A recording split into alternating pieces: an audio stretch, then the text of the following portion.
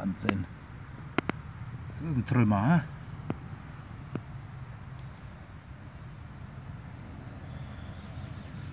Interessantes Tier.